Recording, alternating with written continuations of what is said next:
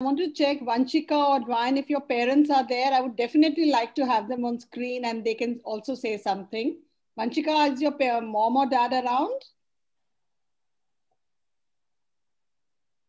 Yes, yeah, Dwayne's parent, mother, I can see. Ma'am, why don't you say something? I'm sure it's a very proud moment for you as well. It is, it is indeed. I mean, all of this happening online was, you know, something that we never imagined but we are so proud to be associated with DPS. Everything was done wonderfully. Thank and you. I think, you know, the magician is with you. So Dwayne sitting there is the magician. Yes? And what about Vanchika's mom, Mrs. Trivedi? Yes, ma'am. Yes, ma'am. Good morning to all the teachers out there.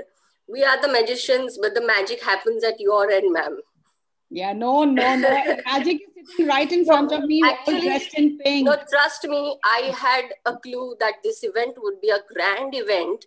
But uh, like, you know, uh, we were every everything every time teachers said that virtual uh, virtual field trip virtual this virtual that and every time you you know raise the bars higher and higher as per my expectation, it was too much. I mean, I was expecting it, but then again, this virtual thing was amazing. Was amazing.